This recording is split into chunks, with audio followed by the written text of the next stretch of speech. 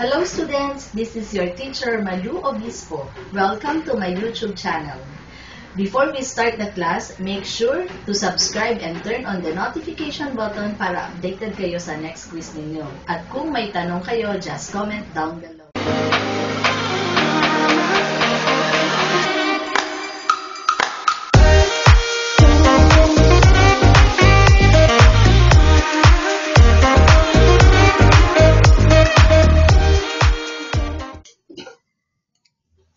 Hello guys! Magandang umaga sa ating lahat, grade 9 sa Marian, Sinai, Shiloh, and Shalem. Ngayong araw na ito ay ating pag-uusapan ang tungkol sa cleaning toilets and bathrooms. Ayan, ito ay karugtong pa din, na part pa rin ito ng uh, household services. Sabi nga natin, uh, kailangan meron tayong biblical basis. Kaya nais kong ipakita sa inyo ang isang verse mula sa New Testament sa aklat ng 1 Timothy chapter 5 verse 14. Ang kabanata na ito ay tungkol sa mga pananagutan sa kapwa mananampalataya. Siyempre, iba yung context, iba yung panahon nung ito ay naisulat. Pero nais kong bigyang diin yung pag-asikaso ng tahanan. Ganito ang sinasabi sa 1 Timothy chapter 5 verse 14. Kaya't para sa akin, mabuti pang sila'y mag-asawang muli, magkaanak at mag-asikaso ng tahanan upang ang ating kaaway ay hindi magkaroon ng dahilan upang tayo'y mapintasan. So, bibigyan ko ng diin ang pag-asikaso ng tahanan upang ang ating kaaway ay hindi magkaroon ng dahilan upang tayo ay mapintasan. Sino ba ang tinutukoy nating kaaway dito? So, sa ating household services, ito ay nakafocus, nakasentro ito sa paglilinis sa mahusay na housekeeping. Ang ating mga kaaway ay germs, viruses, and bacteria na maaaring magbigay sa atin ng sakit, dahilan para tayo ay magkaroon ng sakit, nang sa ganon tayo ay maospital at kung minsan ay humahantong sa kamatayan. So, prevention is better than cure. Bakit natin bibigyan ng pagkakataon ang mga germs, viruses, bacteria at molds na bigyan tayo ng karamdaman? Bakit natin sila bibigyan ng pagkakataon na tayo ay magkaroon ng malaking gastusin? Bakit natin sila bibigyan ng pagkakataon na kuhanin ang ating buhay na ito ay gift from God, kaya asikasuhin natin ang ating tahanan. Tumulong tayo sa ating mga parents and guardians ngayon na tayo ay naka uh, enhanced community quarantine. Magaling at mahaba ang ating panahon at oras upang magawa natin ang mga performance tasks. So sabi ko nga entitled cleaning cleaning the toilet and bathroom ang ating topic ngayon. So ang nakikita nyo ngayon ay ang image na kung saan madali ninyong maiintindihan, maunawaan kung papaano ba maglinis ng toilet. Merong apat. Pwede tayong magbuhos ng cleaner sa paligid ng bowl. Pangalawa, pwede tayong mag-spray, mag-spray at punasan mula uh, pababa yung labas, yung exterior. Pwedeng punasan ang upuan at linisin natin ng buong kabuuan ng bowl mula top to bottom, mula taas hanggang baba. Ito ay another image na kung saan pwede natin gawing daily or araw-araw tuwing tayo ay gagamit. Nakikita nyo sa upper uh, left-hand corner yung touchless toilet cleaner. Yan ay pina-flush every time na tayo ay gumagamit. Sa baba naman nito, nakita niyo yung paa na may kulay red. Ito naman yung paglilinis na ginagawa every time tayo ay nagsha-shower before and after. Nakita niyo yung upper right-hand corner. Ito naman yung daily spray. Daily shower spray na pwede natin gawa, gawin every each after shower natin. We also have 2 minutes sink cleaning dito sa lower uh, right-hand corner. Siyempre, iba pa rin yung ginagawa natin na general cleaning weekly or monthly. Ito ay ang daily. Ito naman ay ang image na kung saan nagbibigay sa atin ng idea kung ano-anong cleaning materials ang maaari nating gamitin sa iba't ibang parts ng toilet and bathroom. Nakita natin sa bathtub and shower, pwede tayong gumamit ng abrasive na sponge or pwedeng homemade spray. Pinaghalo minsan na water na may vinegar o kaya naman ay may chlorine or sunrocks. Sa floor ay pwede tayong gumamit, gumamit ng broom or vacuum, mop, dish towel, white vinegar, or essential oil. Sa toilet naman ay pwedeng brush, brush, borax, abrasive sponge, dry cloth, and also white vinegar. And then for the sink, baking bicarbonate or baking soda, white vinegar, homemade spray, or toothbrush. So, ito yung mga available sa ating bahay. Of course, meron itong mga cleaning materials na uh, mabibili natin sa market, yung mga commercially available. So, bakit ba natin kailangan linisin ang CR? Number one is to get rid of smell. Siyempre, masarap gamitin ang isang mabango at or walang amoy. To remove the bacteria, ito nga yung ating kalaban. Number three, to reduce chances of disease. Kasi syempre, kapag ka nag-grow at nag-multiply na ang germs, bacteria, and viruses, ito na yung isang cause ng ating disease. Alam nyo yan kasi marami tayong pag-aaral tungkol sa cross-contamination nung nag-discuss tayo ng topic tungkol sa cookery. Pang-apat ay aesthetic benefits. So to make it nice to look at, to make it look um, attractive, And of course, to protect from mold. Kasi ang CR madalas ay madilim, hindi yan naaabot ng heat of the sun. Ang heat of the sun kasi ay nakakapag-alis din, nakakatulong sa pagpapababa ng mga molds, disease, viruses, and bacteria. Aside from uh, the, the fact na malayo ito sa sunlight, ito ay palaging moist or basa. Kaya nagiging favorable ito sa pag-grow ng mga molds. So tandaan natin, hindi natin ito gagawin dahil nire-require lang ng topic or module natin na household services. Gagawin natin ito dahil bahagi ito ng pananagutan natin sa kapwa at ang kapwa na pinakamalapit sa atin ay ang ating pamilya. Ginagawa natin ito hindi dahil required, ginagawa natin ito dahil ito ay isang paraan ng pagpapakita ng ating malasakit, pagiging mabait sa ating pamilya at ang pag-ibig natin sa kanila. Meron tayong tinatawag na different types of bathroom fixtures. We have the water closet or toilet, lavatory or vanity unit, bathtub, and shower. Ito ang makikita natin sa loob ng ating bathroom. Ano-ano ba ito? Ayan, nakikita nyo ngayon sa image na ito. May image and then meron siyang uh, label. Siguro naman, kung hindi tayo pare-pareho ng itsura ng bathroom or toilet, magkakaroon kayo ng idea sa pamamagitan ng pagtingin sa larawan na ito. Nakikita nyo example ng faucet, ng shower head, meron tayong drain pipe, floor drain, meron tayong paper roll holder. We also have the corner shelf, toilet brush, towel rack or towel bars, pwede ring towel ring, and of course, the bathtub. Nakikita din natin yan ang iba't ibang accessories. So sa sink or wash basin, ito ang ating mga bahagi, iba't ibang parts. Faucet, mirror, soap dish, tumbler, tumbler holder, toothbrush holder, electric receptacle, tower, towel ring or bar, or towel bar, and of course, vanity unit. For our water closet, closet we have two, the bidet and the roll holder. Toilet paper dispenser din ang tawag doon or toilet roll holder.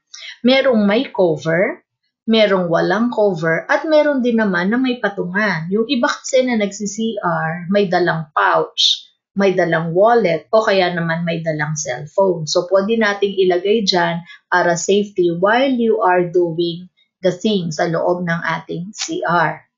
Ito naman ang example ng bidet. Merong manually operated, meron din namang naka-attach na doon sa toilet bowl. So, depende kung ano ang ginawa natin. Kung tayo ba ay uh, nag-release ng solid or ng liquid, meron dyaang uh, paraan para i-adjust yung water na i-release ng bidet na yan.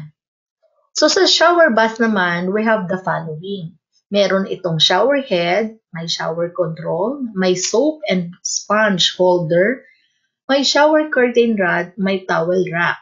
So, ang bathtub ay merong iba't ibang klase at ilan sa mga ito ay ang mga sumusunod. We have the bathtub freestanding. Madali lang itong i-install. Pwede rin itong i-integrate sa shower. Meron din itong iba't ibang sizes and shape. Depende kung saan bansa tayo naroon, depende din sa budget natin, depende din sa laki ng space available na paglalagyan natin ng bathtub na ito. So, meron itong classic, bowl, pedestal, and others. Ito naman ang example ng bathtub na drop-in. Again, depende sa budget natin, depende sa color and design, depende din sa space available. So, ito ang itsura. So, I hope na nakikita nyo yung difference between freestanding at ang drop-in. Next naman ay ang corner bathtub. Ayan. Kaya nga tinawag na corner. Yan ay nasa corner, nasa sulok. Ito ay pwedeng pang dalawa or pang tatlo, depende sa space available. Yung iba ay ginagamit ito ng couples, yung iba naman ay yung barkadahan na merong spa na may activity sila na ginagawa doon. Minsan pwede ka pang magbasa ng libro, makinig sa music, and some other things. So, ito naman po ang example ng toilet brush holder. Merong nakahang, merong nakapatong sa floor, merong may cover at meron ding wala. Ito ay isa din nagiging dahilan ng pag-grow at multiply ng mga germs, bacteria, and viruses. Kaya kailangan ito laging malinis pagkatapos gamitin, linisin, patuyuin at ilagay sa proper place. Ito namang mga sumusunod na ito ay expected natin na competencies na dapat ninyong gawin, matutunan at gawin ng may kagalingan. Ito ay ang performance task natin. So kung tayo ay nasa regular classroom, ang lahat ng ito ay maaari ninyong i-execute sa ating practice house. Pero for the meantime, knowledge na lang muna, i-enumerate na lang muna natin ang mga competencies na expected mula sa inyo. We have the bathroom cleaning, toilet cleaning, bathtub cleaning, toilet sink and faucet cleaning, floor cleaning, and wall cleaning. So, abangan ninyo ang mga links or videos na aking ipe-prepare. Isasend ko ito sa pamamagitan ng ating group chat per, se per section. Meron din tayong tinatawag na cleaning bathroom and toilet accessories. We have the shower head and faucet cleaning, toilet brush and toilet holder brush cleaning, soap dish cleaning, shower curtain cleaning, and of course, cleaning the toothbrush holder. Ang lahat ng cleaning tools and materials ay kailangan maayos nating iniingatan. So, ito yung tinatawag na maintenance and storage. Nabanggit ko na kanina na dapat ito ay ginagamit for intended purpose. Use the tool and materials for their intended purpose. Halimbawa, pag uh, toilet brush, pang toilet lang talaga. Iwasan natin yung multi-purpose. Baka ginagamit natin to sa dishwashing yung brush na yon. Siyempre, hindi yun pwede nagagamitin mo sa CR. Pang CR, pang CR lang. Number two is to keep them dry and clean at all times. So after each use, lilinisin, sasanitize din, and then dry before storing. Number three, we should have a specific place for everything para mas maging madali ang ating pag-execute. Alam mo kung saan siya nalagay, nakalagay. Hindi every time na gagamitin, hinahanap pa rin natin. So pagkagamit, ibalik ulit sa dating lagayan. Yung iba ay nagkakaroon ng caddy, yung lagayan. Meron talagang organizer para sa mga housekeeping. Pag sila ay magpe-perform ng cleaning, toilet, and bathroom, dala-dala na nila lahat. Yung tools, yung equipment, yung mga supplies, at iba pang bagay. So, sa ating uh, theory or theories and principles na diniscuss natin doon sa cookery, nabanggit na natin ang tungkol sa sanitation and safety. Medyo related ito sa concept ng sanitation and sanitizer. Dapat may improved sanitation, yung kumbaga yung good, better, best. Kailangan habang nagtatagal na dadagdagan ng ating skills ang ating knowledge. Meron din tayong on-site sanitation, food sanitation, environmental sanitation, and of course, ecological sanitation. Kaya kailangan marunong tayong mag-segregate ng ating waste at hindi natin ito basta dinadump kung saan-saan. So bahagi ito ng housekeeping, yung sanitation and safety. Hindi lang ito para sa ating self-improvement. Ito ay para sa safetyness din ng mga taong nakapaligid sa atin at or kung saan man tayo gumagalaw or nagtatrabaho. Basic yan. Dapat alam natin yan ang isang tao na professional na may pinag-aralan ay may konsepto ng sanitation and sanitizer. Meron tayong dalawang klase ng hand sanitizers at ito ang isa doon. We have the consumer alcohol-based hand sanitizer. Merong mga pagkakataon kung kailan tayo dapat mag-sanitize ng kamay. At isa na dito yung pagkatapos natin mag-perform ng cleaning toilets and bathroom. Ang isa pa ay ang na hand sanitizer ay ang alcohol rub sanitizer. Sa ngayon, dahil tayo ay under ng enhanced community quarantine, isa ito sa mabilis ma-out of stock sa supermarket. Kaya nagkakaroon ng limit kung ilang piraso lang ang bawat bilhin ng mga mamimili. Of course, the best pa rin ang hand washing. Meron tayong washing, drying, and sanitizing. Kasi sa paggamit ng soap and water, mas natatanggal ang dirt and foreign mi- microbes na nandoon sa ating kamay. Meron itong procedure, I'm sure alam nyo na yan, dahil doon sa ating uh, modules ng cookery, mahabang talakayan din ang ginawa natin tungkol sa paghuhugas ng kamay. So after washing, ang susunod ay drying. So we need to remove the excess water para yung alcohol ay hindi ma malagyan. I mean kasi kung may water tapos may alcohol, parang nadadilute So drying, nakakatulong din ito yung pagpapatuyo kasi mas madaling madumihan ang kamay na basa. Parang buhok natin. It is highly recommended that before going out of the house, tuyo ang buhok. Kasi kapag ang buhok natin ay basa, mas madali siyang didikitan ng dust and dirt. Ganon din ang ating kamay. Kahit hugas ka ng hugas, hindi mo naman pinupunasan, hindi mo dinadry, madali din itong kakapitan ng mga dumi. So after drying, ang next step ay sanitizing. So, and then yung step, you have to wet your hands, including the fingertips and cuticles with alcohol sanitizer to sanitize hands thoroughly.